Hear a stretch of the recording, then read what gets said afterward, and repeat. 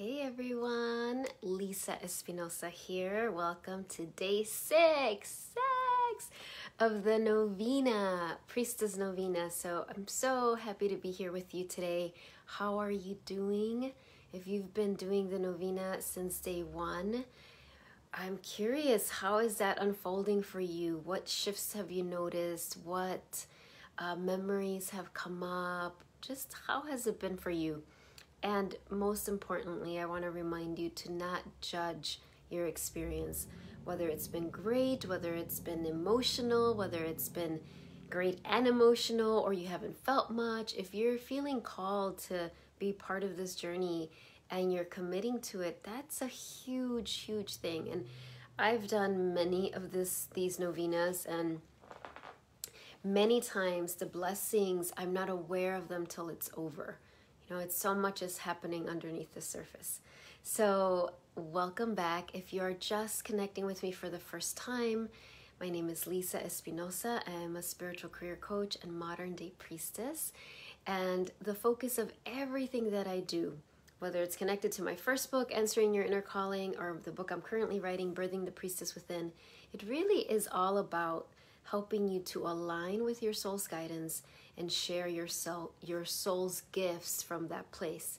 When we talk, when I talk about the priestess path, I'm adding this layer that whatever your career is, part of your medicine is to be a channel of unconditional love for yourself and for the world.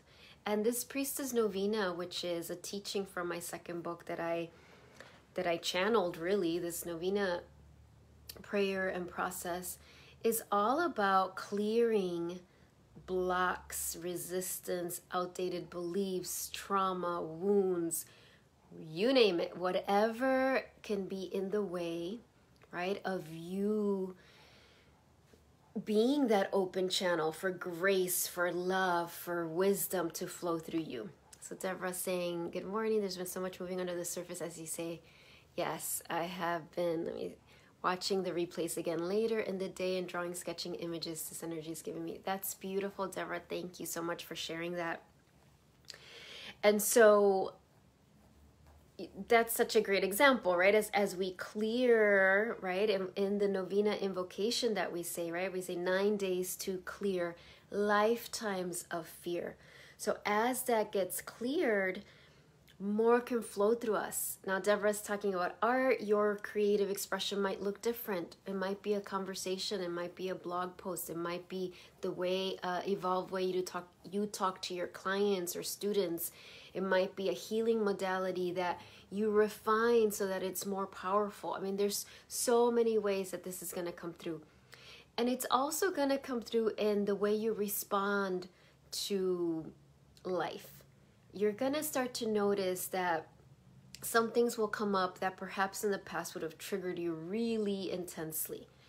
And not, maybe they'll still, you'll still feel the trigger, but it's, um, one of my teachers said, it's like you're to reach to the old habit of how you respond, but it's like not to be there.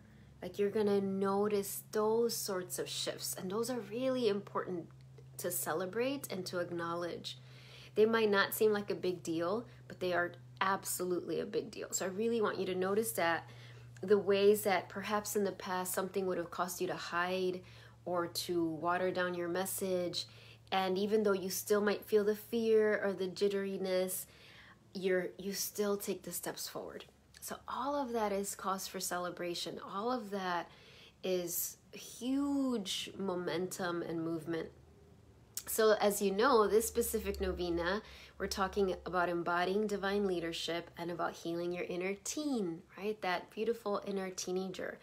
And one of the aspects that, as I was connecting and preparing this morning, that was coming up for me was coming up as I was preparing and praying. It was like, oh, you know, your think about our teenagers when they fall in love, right?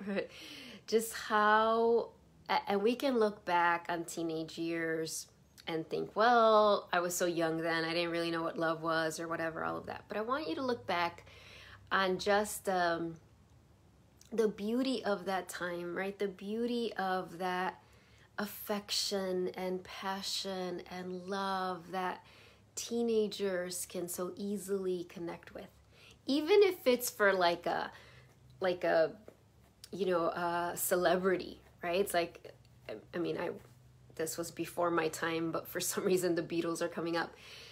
I mean meaning like i wasn't like around when they were up but you've seen the images and some of you might have been around where you know girls from particularly were so like oh my gosh and that still happens right? So that like passion that heart connection can be channeled right? That can be channeled for a love for the divine a love for source that passion right there was a book called the holy longing that i just that title so spoke to me like oh so i can feel that that teenager within me that fuel of that passion, of that connection, of that divine longing is so important. It is so easy to become jaded on the spiritual path. It really is. And and you know, particularly if you've been committed for a long time, I know that I get to those places sometimes where it just feels tedious or monotonous or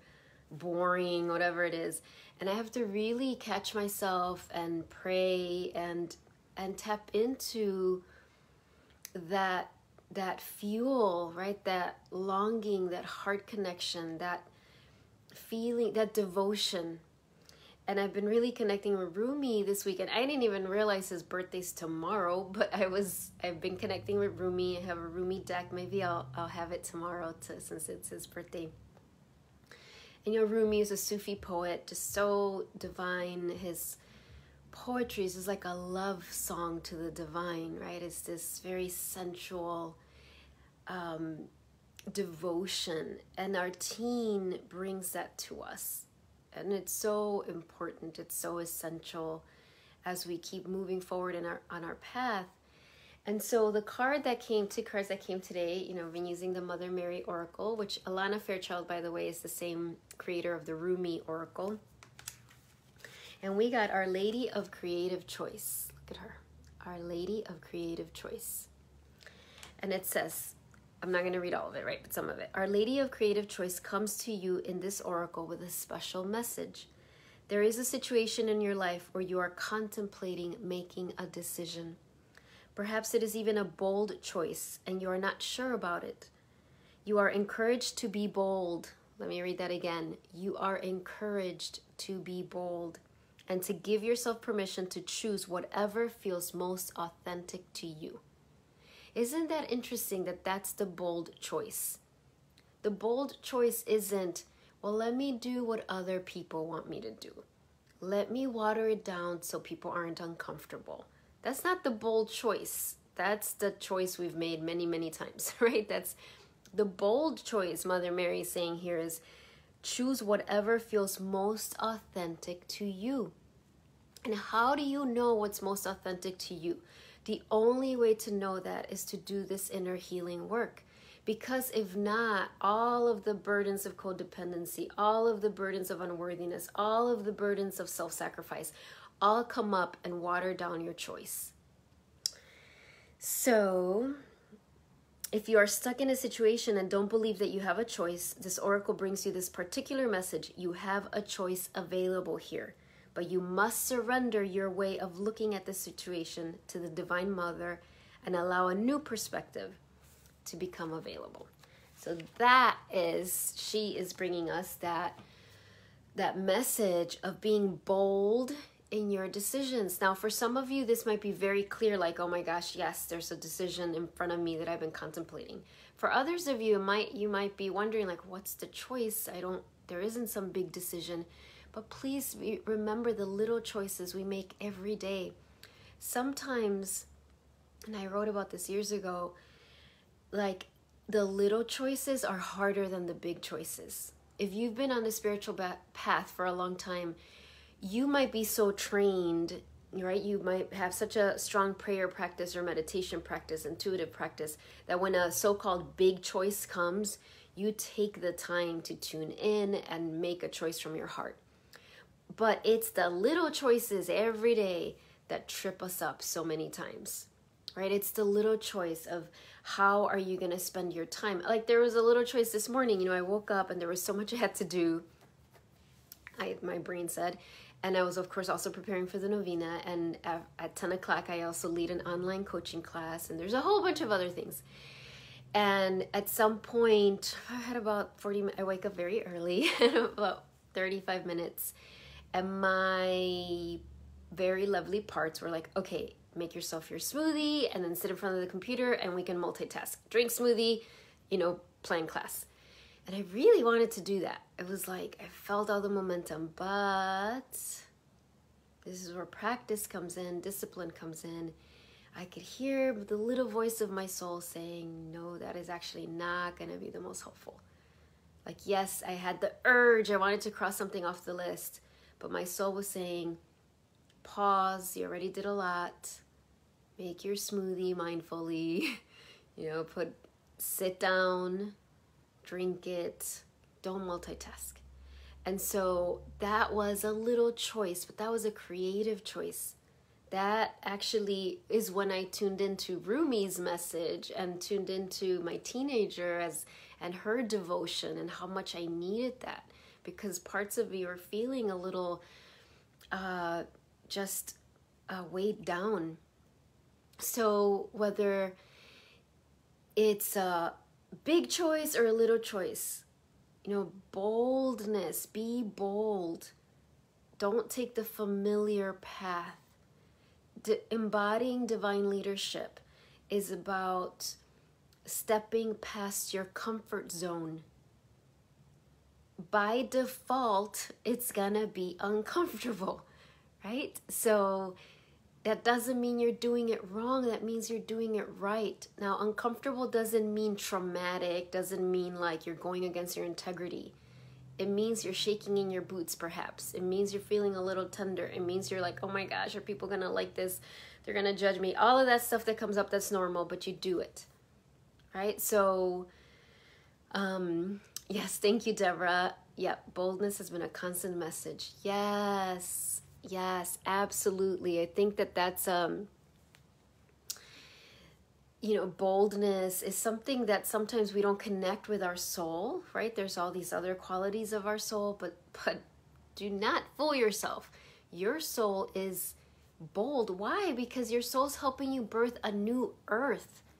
The same old isn't going to create the new earth. It's not going to birth the golden age of miracles that we're all here to birth right? Bold is having the new vision, having, and I just want to say this and go into the nine minutes after this. When you're on this path, your path will look different than everybody else's because you're birthing something new. That means that when you look at the external world for validation, it's not going to be there. Why is it not going to be there? It's not going to be there because you're birthing something new right? So this is the really this is where the friction comes in because you might be writing a book or you might be channeling some artwork or you might be creating a course or a new modality or integrating two different things and you look around right and it's so interesting because our ego does both things one is like oh everybody already does this who needs my medicine we do that but then we also do the nobody really wants this. This isn't out there yet. No, I talk to people about it and they're confused or you know, it's like we're looking for validation in the external, but Mother Mary and your soul is saying, do not do that. It is not going to be there because you're birthing something new. You're the one that's setting the new blueprint. Other people will look to you, not from an ego place, not from a narcissistic place, like I'm better or whatever. None of that but also no false humility here. If you have the courage to be on the spiritual path and do this inner work, then you have the responsibility to stand in that leadership role, which means you are ahead, not in an egotistical way, and that other people will look to you not to copy you, but as an example, as a model. And the hard thing of that is that sometimes I can feel very lonely because we keep looking for outside validation even from people we really respect and love and and they just can't give it to us because they don't have the vision the bold vision that our soul is giving us specifically. Okay? So let's go into the nine minutes. And so if this is your first time or if you need a reminder you're going to sit on the infinity symbol right And today we're going to focus on that medicine of choice, the creative choice, the bold choice. Let's have these nine minutes empower all of our choices, the big ones and the little ones. And I feel like there's a particular medicine of those little choices that's coming. The little choice of how you speak to yourself, the little choice of how you respond to something, the little choice of when you pause. all those little choices that add up, you know, as one of my teachers would say, small hinges open big doors, right? Those are the ones that create the momentum. And yes, of course, if there is a quote unquote big choice, because the truth is to our soul, everything's important, that you also have the boldness of your soul to make those choices. Yesterday, I talked about saying, or whenever it was, I get the, the days start to get confusing in my head, but whenever I talked about the yo the no, right? Saying no. The bold choice sometimes is saying no. The bold choice sometimes is saying yes. There's no like it's not a cookie cutter thing, right? It's like so we're to be emboldened, right? In our choices. No no watering down, no making the choice that others would make. It's the choice that you're going to make. So get your beautiful candle out. I have mine here. Right? And I'm, oh gosh, and I forgot. The other card I pulled, because I don't want to forget, is Kuan Yin, the goddess of compassion. I recognize suffering in order to release it. Curiosity breeds compassion. So there we go. Beautiful Kuan Yin. And she's reminding me, thank you, Kuan Yin, that when we're on this path, it's so easy then to look back on our life and start to judge ourselves. Oh, why did I make that choice? Or oh, I shouldn't have made that choice. That's not what this is about. Please trust that you have a divine curriculum that you literally set up for yourself, right? A divine curriculum, you know, going back to that question, what has your life trained you to be? So even those choices that you made in the past that perhaps you're like, oh, those were mistakes, they were not mistakes. They were part of the training of your life. And so we welcome beautiful Kuan Yin to be here as we sit on the infinity symbol, being activated to make those bold choices, that we do all of that with compassion and we look on our life with compassion through compassionate eyes. And she's reminding me to add others. It is not our job to judge other people's choices. We it's that always comes from the ego. Always, no matter how smart we think we are, or how enlightened we think we are, or how wise we think we are, anytime we're judging other people's choices, please know that is not your soul. Your soul does not do that. Our soul does not judge. So we can have compassion for ourselves when we go into judgment. I do it. I mean, it just, right? But we can notice it and then we can say the prayer of, okay, let me see this through your eyes, beautiful soul. I've noticed that I'm judging right now and I don't know what to do about it, but I'm willing. Please bless my vision. I don't, you know, it's like the world has so much judgment already. We don't want to add to that. So we welcome Kuan Yin. All right, so we hold this. Let's go. As this candle burns, my soul within me burns as this wax melts, resistance in me melts. Nine days to clear lifetimes of fear. As I give, I receive. As I heal, I am healed. Doors open, I walk through. I am ready for the new. Resistant abundance. abundance comes with ease and grace for I have finally found my place. All right, so let's leave this here. And resistance leaves, right? so I'm gonna put the timer and we're gonna do this together. All right, begin.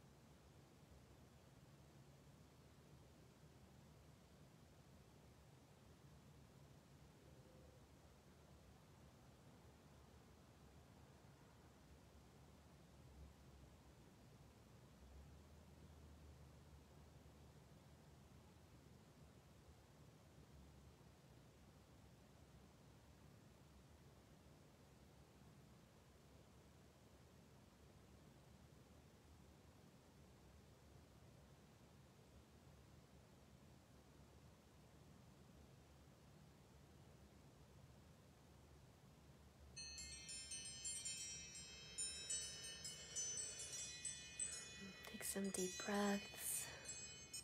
If you have your journal and there's something you want to write down about your experience, just go ahead and do that. Take a few moments. I'm going to drink a little water.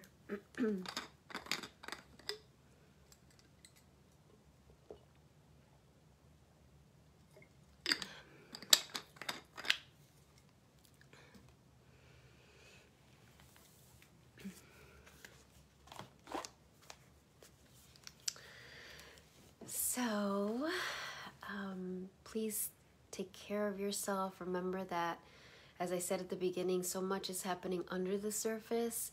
As much as you can have mindful moments throughout your day to take a walk, to journal, to dance, anything that allows kind of this openness, you know, take that opportunity. Take the bold choice, right? The bold choice doesn't mean to need to be the loud choice or the you know boldness can be very quiet as well. So um, ask your soul about that. I'm going to pull a card and also remind you on october 17th i will have an in-person training at relax for life in barrington. I'm so excited. It's the third time i do this specific training.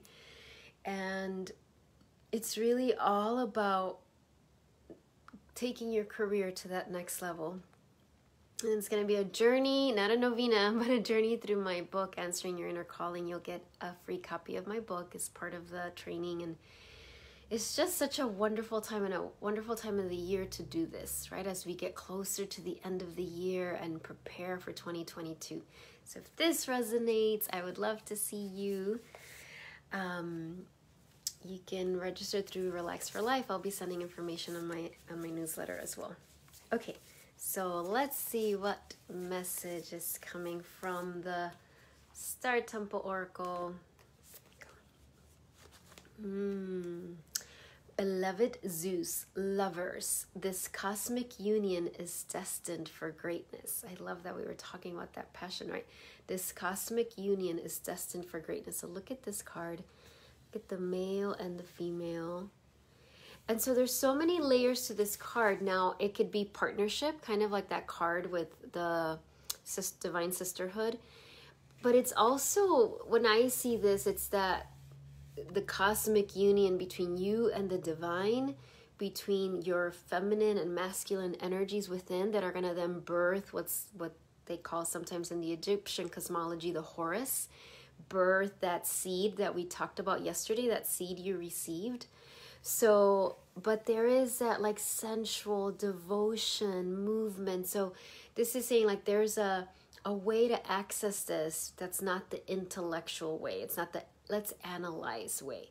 Right? There's something about that movement and that passion and invite your teenager to guide you with that. She's a master at that. All right, lovelies, can't believe it. Tomorrow will be day seven. Oh my gosh, we're almost there. And I will see you then. And I know, um, yeah, have a great rest of your day. Bye, everyone. See ya.